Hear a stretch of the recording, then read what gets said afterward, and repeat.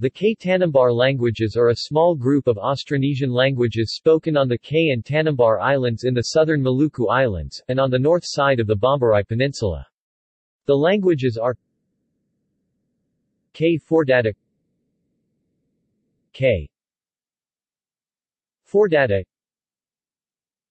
Yamdena North Bomberai Yamdena North Bomberai Onin Sekar or Wangnaran References